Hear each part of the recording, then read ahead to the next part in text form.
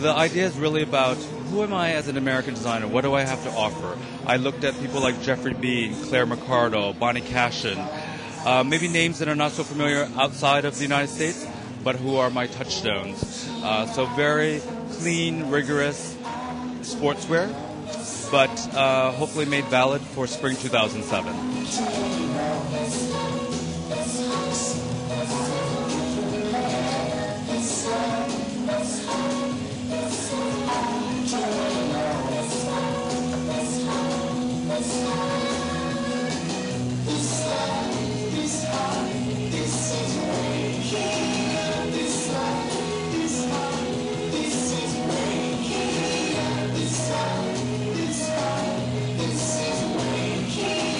Showing a few gowns.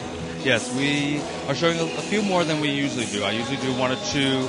This season, I wanted to do. I did. We did uh, five gowns, um, but they're always rooted in a sense of comfort. One is based on uh, an anorak. The other one is based on um, tying the rope, like I have on my arm, which is a very American nautical spirit.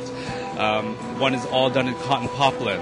So you know, it's that mix of elegance, but also very unpretentious and humble, which I think is uh, a very strong American message in fashion.